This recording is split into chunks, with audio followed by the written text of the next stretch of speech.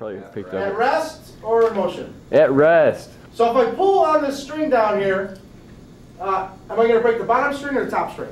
Oh no, I can't see the top one. There's two strings. Okay. There's a string on the bottom, there's a string on the top. If I pull on this string, will I uh, break the bottom string or the top string? Depends how much Top, force top. you. How many people Are think the both the bottom string? knot? How many people think the bottom string will break stronger. if I Some knots are pull? All right, one person. Wait, bottom. Fast and hard, bottom string. Oh. Raise your hand, raise your hand high. One, two, three, four, now she's gonna say five.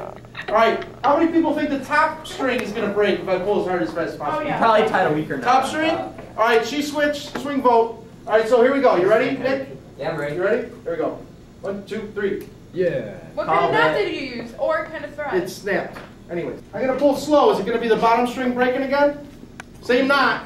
No. Top. Same down. string. Top one. Top one's gonna break. Yeah. First on I'm putting a force. I put a force on it before.